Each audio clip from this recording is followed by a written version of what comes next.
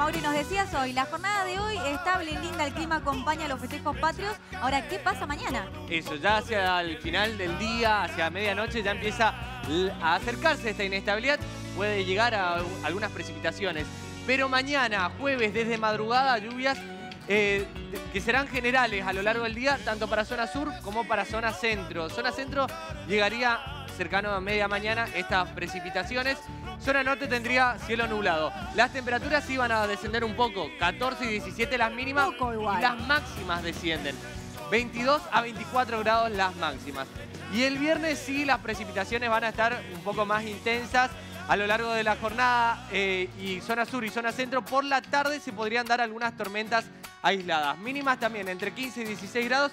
Las máximas entre 20 y 22 grados. Así que las precipitaciones van a acompañarnos hasta el fin de semana aproximadamente. Perfecto. No lavar la ropa hoy porque llueve, así